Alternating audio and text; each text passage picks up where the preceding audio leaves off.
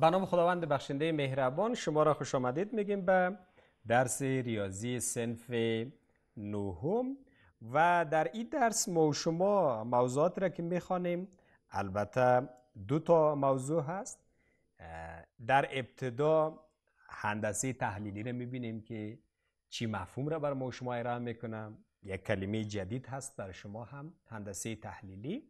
و بعد اولین موضوع درس ما و شما فاصله بین دو نقطه هست که فاصله بین دو نقطه را در روی یک مستوی چطور می‌تونیم محاسبه بکنیم و یا چطور می‌تونیم به دست بیاریم.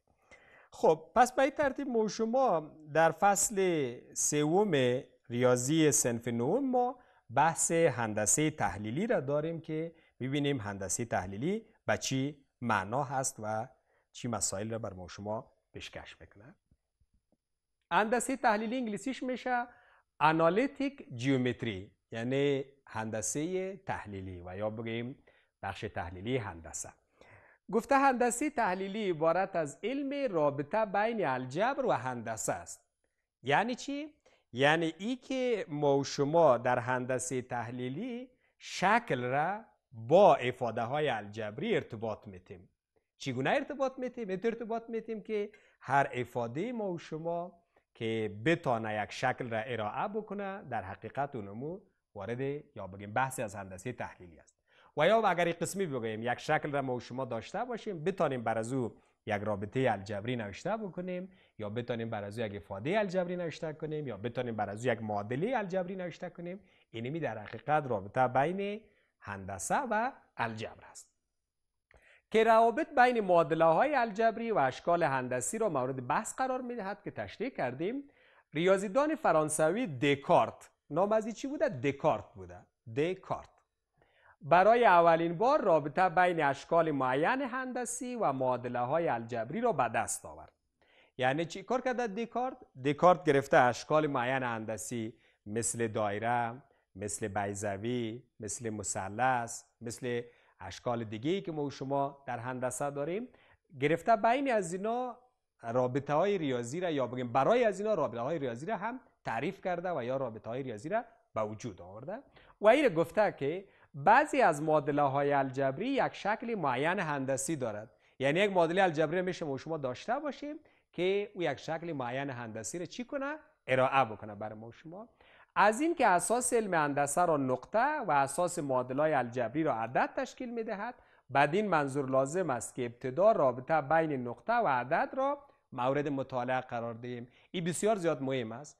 اما اولین یا بگیم اساس یا بگیم به اصطلاح اصل شروع هندسه از نقطه هست اصل شروع الجبر از عدد هست. پس چطور میشه ما و شما رابطه بین عدد و نقطه را برقرار بکنیم. چطور میشه برقرار بکنیم؟ حداقلش همی است که دریافت بکنیم که نقطه وقتی در روی یک مستوی در کوردینات دکارتی و یا بگیم در کوردینات قایم رسم شده در کدام قسمت موقعیت دارد؟ این میشه رابطه بسیار خوب بین نقطه و چی باشد؟ عدد باشد. دکارت برای رابطه بین عدد و نقطه یک سیستم دستگاه قایم. این قایم به معنای عمود بودن هست. به معنای تشکیل زاویه 90 درجه هست. پس چی کار کرده؟ یک سیستم یا دستگاه قایم محورها را قایم محورها را معرفی نموده که تا اکنون به نام وی یاد میگردد یعنی دکارت بر ما و شما آمده بر اولین بار سیستم کوردینات قایم و یا بگوییم همون سیستم دکارتی را که دو تا محور هست محور افقی به نام X محور عمودی به نام Y و اینا تحت زاویه 90 درجه که دیگر قطع می‌کنن این در حقیقت تعریف خود دکارت بوده و یا اولین شکل بوده که دکارت به وجود آورده این دکارت همو دانشمند فرانسوی هست که سیستم کوردینات قایم را به وجود آورده و بعدش هندسه تحلیلی را بنیادش گذاشته که طبعا بعد از دکارت هم انکشافات زیادی در بخش هندسه تحلیلی به وجود آمده و با می پایه قرار دادن هندسه تحلیلی یک هندسه دیگه هم وجود داره به نام هندسه فضایی که خیلی نسبت به هندسه تحلیلی بخشایش بیشتر هست و مهمتر هم هست که بعدنا شما در پوهنتون اگر رشته های مثل انجینری رو بخوانید باز بیشتر می‌خوانید در رشته های science هم هندسه فضایی یک بخش مهم هست. خب گفته فاصله بین دو نقطه distance between two points. یک نقطه عبارت از نقطه A هست دیگر نقطه B است. این به صورت عمومی رسم کرده. اگر ما و شما خواسته باشیم فاصله بین دو نقطه رو دریافت کنیم چگونه می‌تونیم دریافت کنیم؟ البته اگر نقطه روی یک محور قرار داشته باشه مثلا روی محور x نقطه x1 و نقطه x2 مثلا یک کسی میگه فاصله بین x1 و x2 رو دریافت کنیم خب مشخص است. یک واحد دو واحد سه واحد. پس سه واحد فاصله داره. اگر هر کدام از این چهارخانه ها یک سانتی متر مربع باشد یا هر طرف از این یک سانتی متر باشد در اون صورت بر ما و شما 3 سانتی متر فاصله بین x1 و x2 است. و به همین ترتیب فاصله بین y2 و y1 و یا بگیم y1 و y2 هم به اندازه 3 سانتی متر می‌تونه که باشد اما در حالتی که ما و شما فاصله بین A و B را پیدا می‌کنیم باز به او ترتیب حساب شده نمی‌تونه. بعدا برش ما و شما قضیه داریم می‌خوانیم چطور باید محاسبه شد گفته هر دو نقطه A x1 y1 و B x2 y2 در مستوی مختصات قایم یک قطع خط مانند B را تعیین می‌کند. به نظر شما چگونه می‌توان فاصله بین دو نقطه A و B را محاسبه کرد که در درس امروز خود ما شما این مسئله را می‌خوانیم؟ اول یک فعالیت بر ما شما داده گفته این نقاط را در سیستم کمیات وضعیه یا بگم در کمیات وضعیه دکارتی ای را در ابتدا نشانی کنین یا دریافت بکنین بعد قطع خط را رسم بکنین یک نقطه ای هست نقطه بعدی بی هست. پس قطع خط بی رسم می‌کنیم فاصله بین بی را گفته محاسبه کنین. همون ترتیب مثلا توسط خطکش میشه. شما تا زمان که قانون یا معادلش نخوانده باشین دریافت بکنین. هر نقطه در کوردینات قایم در سیستم مختصات دکارتی توسط دو تا کوردینات یا توسط به اصطلاح دو محوری که اولیش x است دومیش y هست ارائه میشه. خب به این ترتیب از این فعالیت ما شما می‌تونیم این استفاده را داشته باشیم. گفته از فعالیت فوق می‌توانیم به صورت کلی فاصله بین دو نقطه کیفی x1 y1 و bx2 y2 را طور زیر به دست داریم. در شکل زیر مثلث AHB AHB یک مثلث قایم الزاویه است. با استفاده از قضیه فیثاغورس می توانیم فاصله بین نقطه E و B را طور زیل به دست آوریم که ما و شما میشه این فاصله را دریافت بکنیم. چی کار می‌کنیم؟ اول میاییم سیستم مختصات قایم یا مختصات دکارتی را رسم می‌کنیم. به این ترتیبی محور Y ما و شما باشه و این هم محور X ما و شما باشه که به این شکل من رسم کرده میشم. خیلی خوب. محورات خود را داریم. چی کار می‌کنیم؟ ابتدا میاییم نقطه x1 x2 و y1 y2 را دریافت می‌کنیم. این نقطه x1 باشه یا هم نقطه x2 باشه البته هر دو نقطه ما و شما فعلا فرضی هست. فرضی چی ما میته؟ یعنی قیمت مشخص روش نداریم. پس به این ترتیب این نقطه y1 هست و این هم نقطه y2 هست. به این ترتیب ما شما را چی کار می‌کنیم؟ برای دریافت خود نقطه اینا خب کوردیناتش هست. یعنی ما و شما یکی نقطه A داریم دیگه هم نقطه B داریم. بله ای نقطه A ما و شما x1 y1 و نقطه B ما و شما x2 y2 هست. به ترتیب. پس ای x1 y1 هست و ای هم دومیش یا B به اصطلاح x2 y2 هست که به ترتیب ما و شما داریم شد حالا چی کار می‌کنیم؟ اینا رو میاریم موازی با محور یکی دیگر رسم می‌کنیم تا اینکه نقطه در موقعیت اصلی خود دریافت شود. پس ای از نقطه y1 موازی با محور x رسم می‌کنم. از نقطه x1 موازی با محور y رسم می‌کنم که به این ترتیب رسم شد. پس این نقطه ما شما چی است این نقطه ما شما نقطه A هست. نقطه A با کوردینات چی؟ X1 و y1 به این ترتیب. حال نقطه B را دریافت می‌کنیم. به این ترتیب از محور Y موازی با محور X. از محور X موازی با محور Y. به این ترتیب ما شما آمدیم؟ اینا را با هم رسم کردیم البته این خط ما کمک میلان داره به این شکل رسمش می‌کنیم که بیشتر بیا اما به هر حال با دست آزاد خیلی مستقیم رسم شده نمی‌تونه. این نقطه چی است؟ این نقطه B هست. X2 و y2 به این ترتیب که ما شما دریافتش کردیم. این دو نقطه را با هم وصل می‌کنیم. نقطه B را میاریم به نقطه A وصل می‌کنیم. به این ترتیب نقطه B وصل شد به نقطه A. این عبارت از خط چی است؟ خط AB هست. خب به خاطری که ما و شما در اینجا قضیه داریم بعضی خطوط کمکی دیگر هم رسم می‌کنیم. مثلا میاییم این قسمت نقطه A را تا قسمت خط قاطع ادامه میتیم به این شکل ادامه داریم. نقطه B را هم میاییم به این شکل ادامه میتیم در اینجا یک شکل مثلث قایم الزاویه تشکیل شد. وقتی اینجا ما شما یک از زاویه های مثلث 90 درجه داشته باشیم مثلث ما شما در حقیقت چی است؟ در حقیقت قایم زاویه هستند یعنی یک زاویهش قائمه هست یا 90 درجه است. نام ای تقاطع را H گذاشتن. بنان مثلث ما شما چی میشه؟ A B H میشه. مثل که در اینجا هم بر شما نامگذاری کردن. میشه A H B و یا B H فرق ندارد. الان مثلث هم در بالاش می‌گذاریم.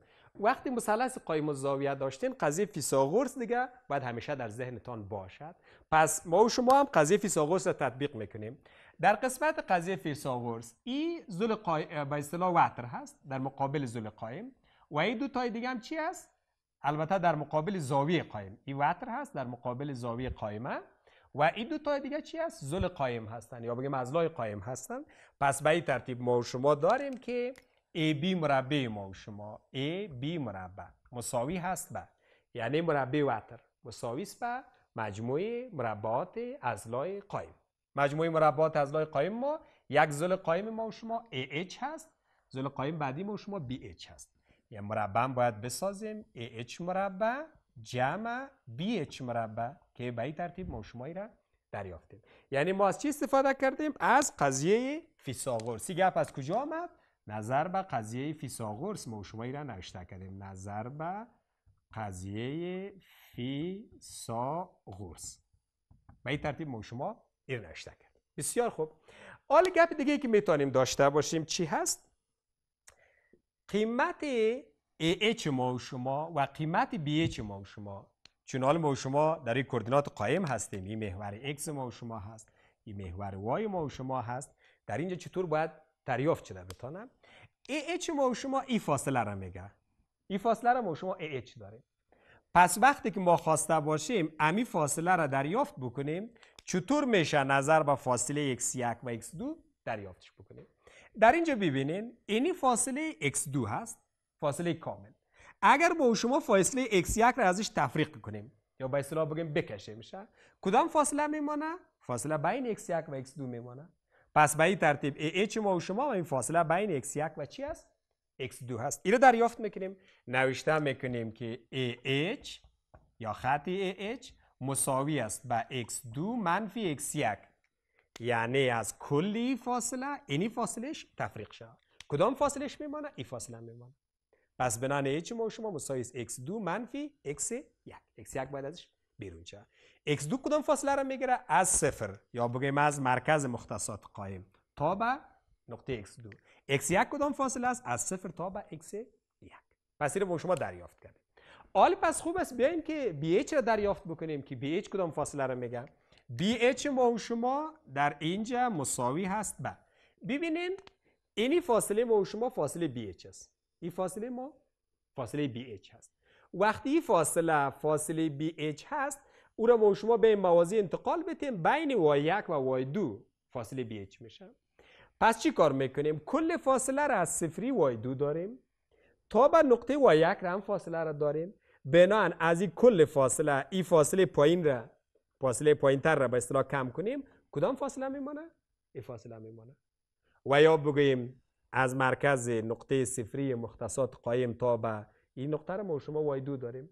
از y2 قسمت y1 را تفریق کنیم. چقدر فاصله میمانه اما قطع خط بین y1 و y2 میمانه پس به این ترتیب نوشته می‌کنم که y2 منفی y1 تا کدام فاصله کنم؟ تا این فاصله. این ما شما تانستیم که داشته باشیم. بنان حال اگر ما شما امی قیمت ها را وضع کنیم در قضیه فیثاغورسی که قبلا داشتیم و به اصطلاح دریافت کرده میشه می‌تونیم که فرمولی را دریافت بکنیم که با استفاده از او هر وقت خواسته باشیم فاصله بین دو نقطه را محاسبه بکنیم. چطور میشه؟ ببینین. در اینجا ما و شما A B مربع را مساوی داشتیم. با AH مربع جمع BH مربع. حالا قیمت هاش وضع می‌کنم. نوشته می‌کنم که A B مربع مساوی است.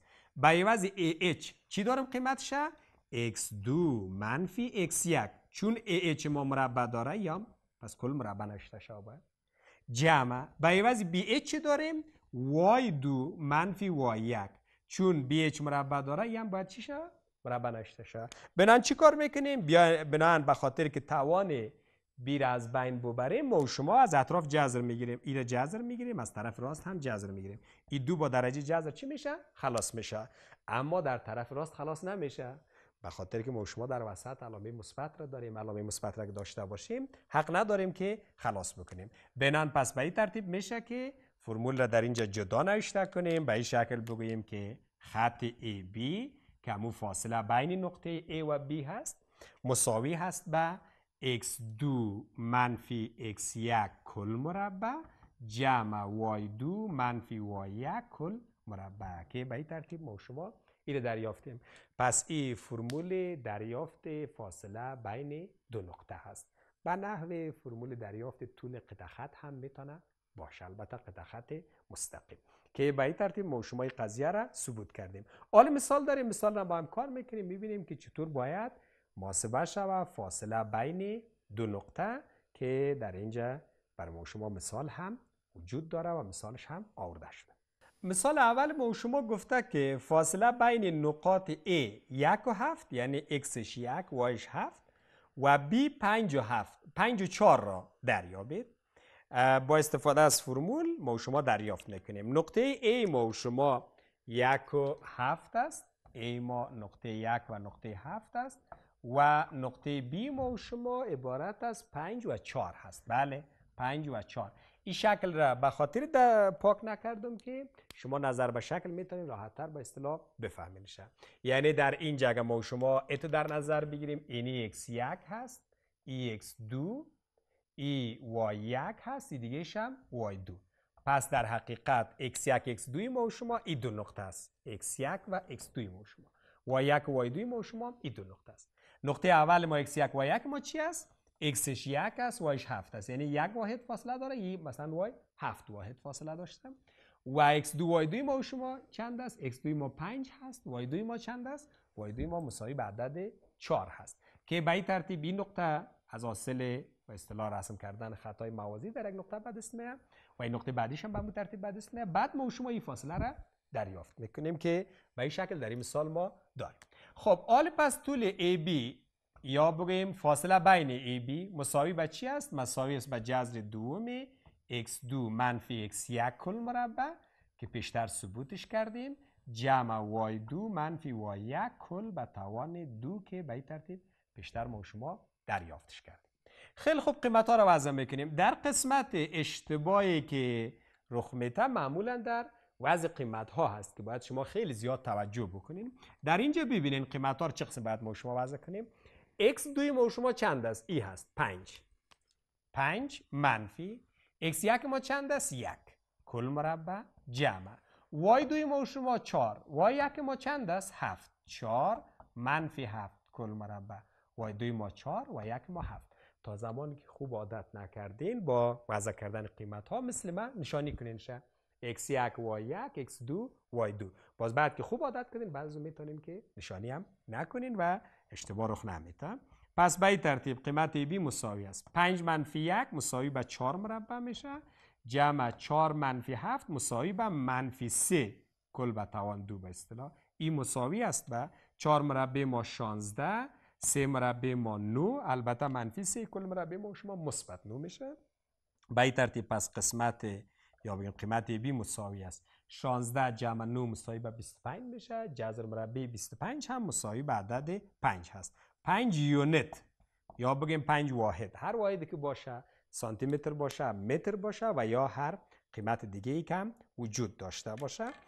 در اینجا البته مثال های دیگه هم بر شما کار شده که در مثال دوم برای شما گفته که فاصله بین نقطه A 3 4 را از مبدع کمیات وضعیت دریافت بکنین. یعنی در اینجا ما و شما قیمت بیر صفر داریم. وقتی صفر وضع کنین جوابش معلوم میشه و به همین ترتیب دریافت کرد یعنی مساوی به عدد 5 شده. گفته فاصله بین دو نقطه A x1 و B x1 و 1 و B هم x2 y2 عبارت از فرمولش ما شما از قبل داشتیم. فاصله را میشه توسط D یا از اصطلاح دیستانس انگلیسی استفاده کنیم و D نشان بدیم. هم می‌تونیم داشته باشیم. و اگر از مبدع کمیات وضعیت باشد در اون صورت قیمت ها را می‌تونیم مربع بسازیم. مستقیما جوابش هم دریافت بکنیم. یعنی در این مثال دومی که ما شما داشتیم سه مربع جمع چهار مربع را که جذرش را می‌گرفتیم که مساوی به جذر 25 میشه و مساوی به 5 می‌تونید شما دریافت بکنید. این تمرین را حتما انجام بدین. تا ای که بیشتر با موضوعی که ما شما در این روز خواندیم آشنا شوین. اندسه تحلیلی نسبت به یک قسمت های اندسه یک مقداری به اصطلاح در ابتدا بر شما مشکل معلوم بشه به او خاطر تمریناتی که در این بخش وجود داره که حداقل هفت سوال هست او هم خوب کار بکنین تا ای که بیشتر با موضوع هندسه تحلیلی آشنا شوین. بعدا باز با شما در قسمت مسائل بعدی راحت می باشیم یا بگم آسان می‌تونیم که محاسبات مربوط به هندسه تحلیلی را انجام بدیم. درس امروز ما هم در اینجا به پایان می‌رسد تا یک درس بعدی از ریاضی سنف نو. همه شما را به خداوند بزرگ مسپارم. موفق باشید.